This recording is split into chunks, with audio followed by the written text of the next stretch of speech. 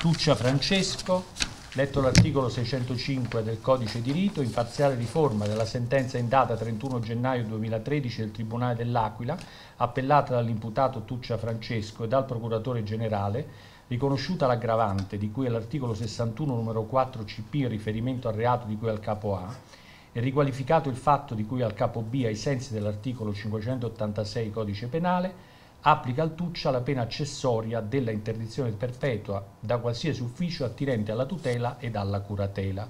Conferma nel resto e condanna l'imputato a rifondere alle parti civili costituite le spese di patrocinio del grado che liquidi 1,20 euro 2000 ciascuno per compensi, oltre accessori come per legge. Motivazione del termine di 45 giorni. Udienza e to. Il collegio ha ritenuto che sussiste l'aggravante di quell'articolo 61 numero 4, e cioè le sevizie e la crudeltà.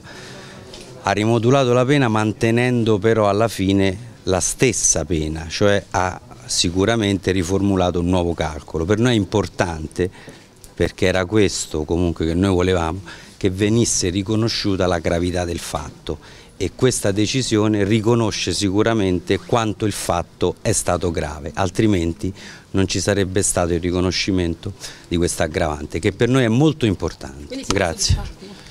Sì, anche perché noi eravamo soddisfatti in primo grado, lo siamo ancora di più oggi perché oggi possiamo dire che sei giudici comunque si sono espressi e hanno tutti e sei ritenuto che il fatto purtroppo è stato veramente grave. Che Grazie. cosa dice la sua assistita e la famiglia?